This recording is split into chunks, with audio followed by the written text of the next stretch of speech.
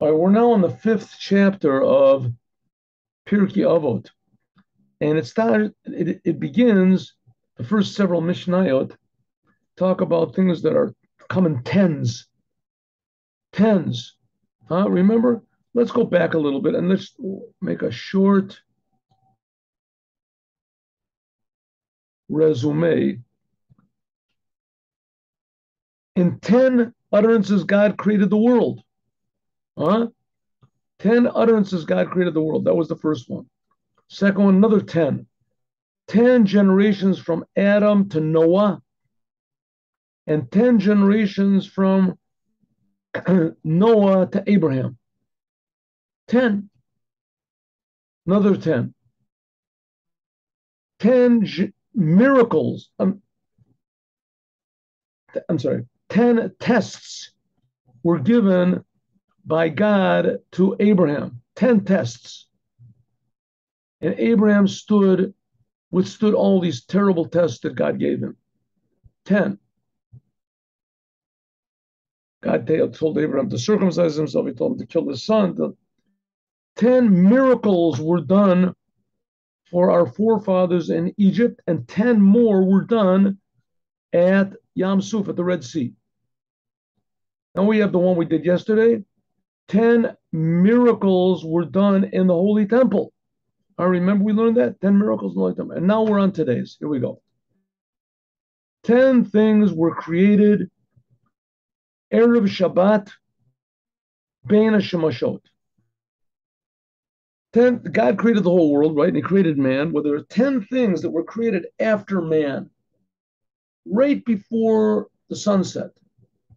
Now, on Shabbat, God did not create anything. And man was the last official thing that He created. But the Midrash here tells us no, that there are 10 things, weird things that God created right before Shabbat came in. What are they?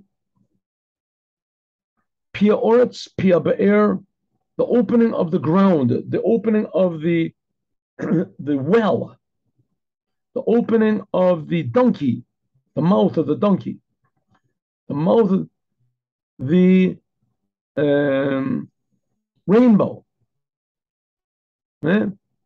the manna, the staff, Moses' staff, the shamir. We'll see it's this weird worm. Hakatav a michtav, different opinions about what this is, but the katav michtav, generally speaking, is the letters that were used to write the Torah and the tablets. and the tablets themselves.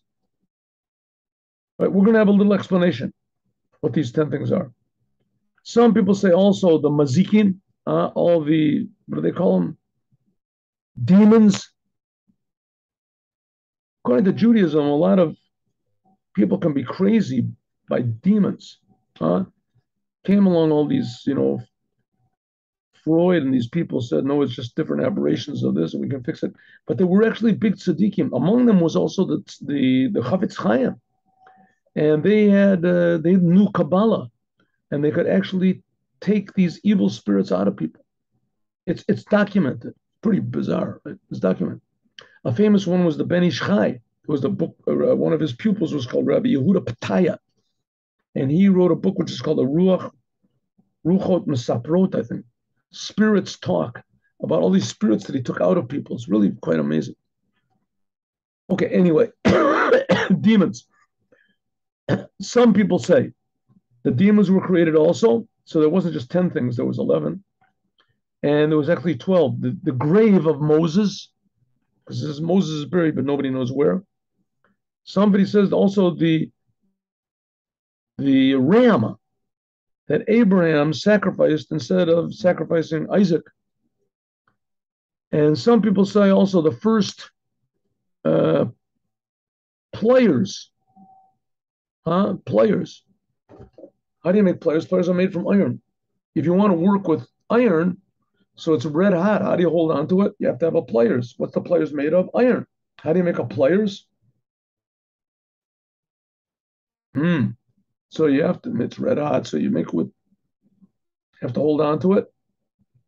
How do you hold on to it? With players. Where'd you get those players? Which players? The first players that you're grabbing onto the second players with. I mean, if you already got a pair of players, so you don't have to make new players. You already got players. So we'll talk about this. Let's let's have a look. What are these 10 things that were created on Shabbat after man was created, right before the sunset? What are they? And we have the Bartenura. The mouth of the earth to swallow up Korach. I remember Korach got swallowed up when he tried to make a war against Moses. The Pia Be'er, the mouth, the opening of the well. Which well? The well of Miriam. It was in a rock, and this rock would travel along with the Jewish people in the desert. Some people say that this rock opened up its mouth and said song, like it says, Ale Bear of Anulo. Afterwards, when the, the, whole story with the, the, the, what was it, the Amorites, they, they hid in, in the mountains and tried to kill the Jews, and it kept a big miracle. The mountains came together. Anyway, that the amount that this that the that this rock of Miriam, that water spouted out from it, that from the place where it spouted out, that it sang also. Okay, another mouth, the mouth of the donkey. Whose donkey? And it says that between, right before evening, it was decreed that it would speak with Bilam. Huh? That it would speak with Bilam. Now, this donkey must have been pretty old. Because the donkey, I mean, for sure, it was like more than, I don't know, 2,000 something years old. Moses was like 400 years after Abraham. So. Anyway, pretty old donkey. So that's a, but that's not the amazing thing. The amazing thing is the donkey spoke. It's written in the Torah in Parshas Bill. Akeshet, the um, the rainbow. What rainbow? The rainbow that God made after the flood. The man, the manna that came down for the Jewish people for 40 years. Another thing that was created right before the sun set on the first day, created after man, the staff, the staff of Moses that Moses did all the miracle with, miracles with. It was made from san pure non. I don't know, maybe sapphire or something, some sort of a of a, a hard rock material. I don't know what it is, precious stone. We'll see in a moment that that's what the tablets were made of. Hashamir, this weird worm that's very small, kiseora, and you if you would show it a stone that had a line on it, so you put the stone on the line, this worm on the line on the stone, and somehow or other the stones would crack on their own. Huh?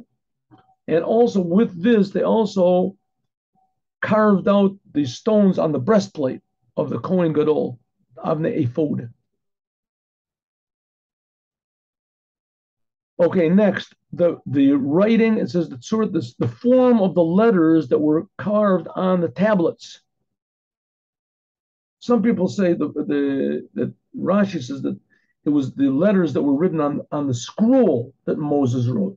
Anyway, the, the form of the letters that were written on the tablets, and the michtav, this is the fact that it was written on the, the, the, the letters that were on the tablets could be read from the four sides of the tablets. Huh? Tablets sort of almost like square. We'll see in a minute. The tablets themselves, they were also made from the Sanpirin. It says that they were taken from the somehow or other from the the sun, the the what is the molten lava, whatever it is, of the sun.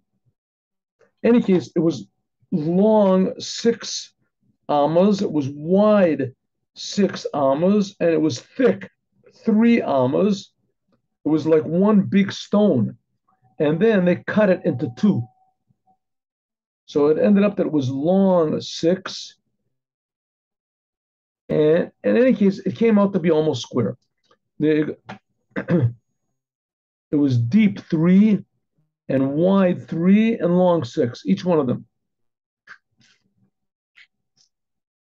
Anyway, they were um, carved out from the God carved them out.